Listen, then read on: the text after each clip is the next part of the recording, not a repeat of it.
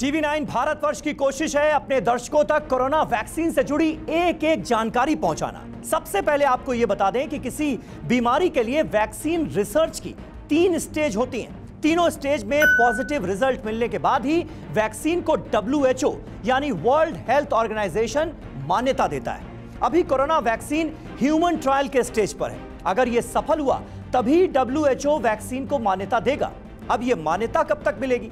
क्या दिनों दिन विकराल होती महामारी के कारण WHO वैक्सीन को फ़ौरन हरी झंडी देगा? यह सवाल कायम है, लेकिन इस बात में कोई शक नहीं है कि वैक्सीन ही इस वक्त कोरोना से लड़ाई जीतने का ब्रह्मास्त्र है।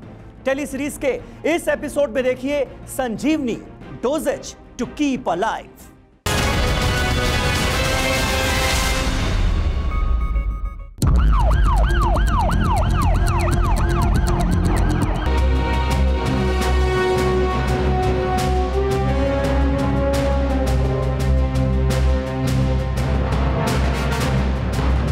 करीब करीब आखिरी दौर पर वैक्सीनेशन की, वैक्सीन के रिसर्च में काम पहुँचा है। सभी तक कोरोना की वैक्सीन पहुँचे। इसमें तो कोई विवाद हो ही नहीं सकता है। अपने हर नागरिक के लिए एक प्रकार से नेशनल कमिटमेंट की तरह। ये वक्त की ज़रूरत है जब कोरोना का प्रकोप है। तब तक महामारी से बचाव के लिए दो गज की दूरी और मास्क ही संजीवनी।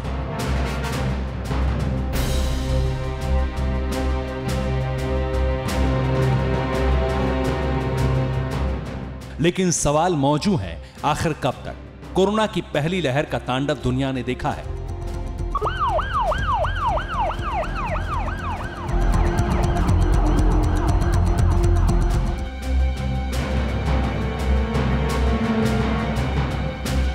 यूरोप और अमेरिका के अस्पताल और शमशान की रूह कंपाने वाली तस्वीरें भी दुनिया ने देखी।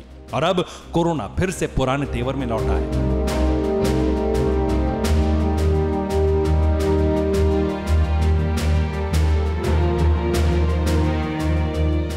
जरा सी लापरवाही और सुस्ती का मंजर इन दिनों फिर से यूरोप में दिख रहा है। ज़िंदगी को लीलने के लिए कोरोना की चौथी लहर ने हांगकांग की चौखट पर दस्तक दी है। याद रखिए, जब तक दवाई नहीं, तब तक ढिलाई नहीं। मुस्तैदी की ताकीद अगर आम लोगों के लिए है तो कोरोना के खिलाफ मुस्तैदी का ट्रेलर इन इंस्टीट्यूट्स के भीतर भी है।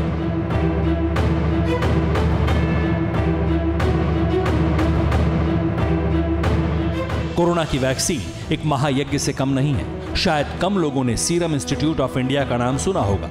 इसकी शुरुआत डॉक्टर साइरस पूनावाला ने 1966 में की थी। लेकिन हमारी, आपकी और पूरी दुनिया की ज़िंदगी बचाने के लिए इस इंस्टीट्यूट के साइंटिस्टों ने बेमिसाल कोशिशें की हैं और यहाँ के साइंटिस्ट एक बार फिर युद्ध स्तर पर कोरोना वैक्सीन के रिसर्च के लिए दिन रात एक किए हुए हैं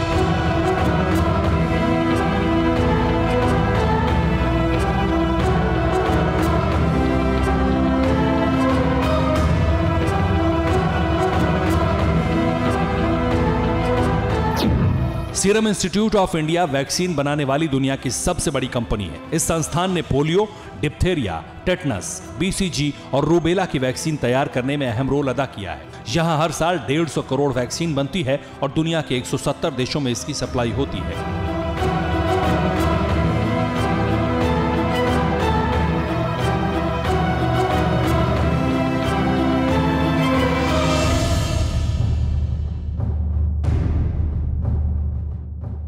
आज की तारीख में पूरी दुनिया की नज़र इस इंस्टीट्यूट की तरफ़ है। इसकी दीवारों से अच्छी खबर का इंतज़ार है। इसी तरह, उत्सुकता का केंद्र इधर भी है। हैदराबाद की जीनोम वैली की भारत बायोटेक इंटरनेशनल लिमिटेड की शुरुआत उन्नीस सौ छियानवे में डॉक्टर कृष्णा एम इला ने की थी। आज यहाँ भी कोविड 19 के वैक्सीन पर काम चल रहा है।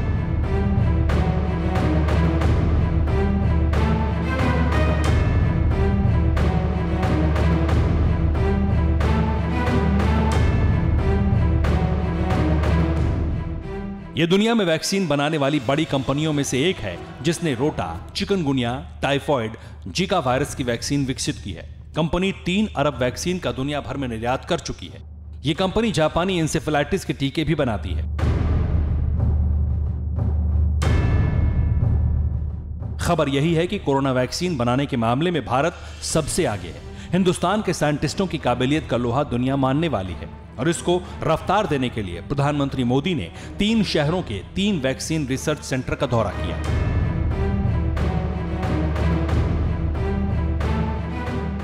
वैसे भी दुनिया की सबसे अधिक वैक्सीन भारत में तैयार होती है। इसकी सबसे बड़ी वजह हिंदुस्तान की आबादी है।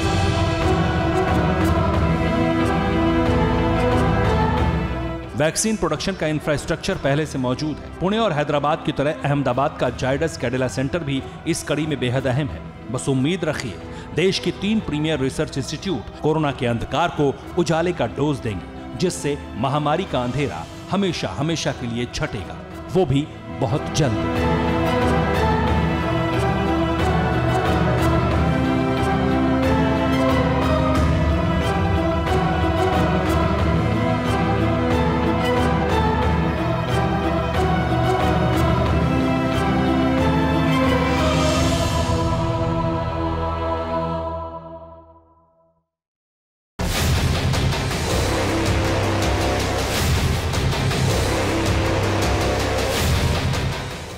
परवाह देश की। सोमवार से शुक्रवार रात 10 बजे टीवी 9 भारतवर्ष पर।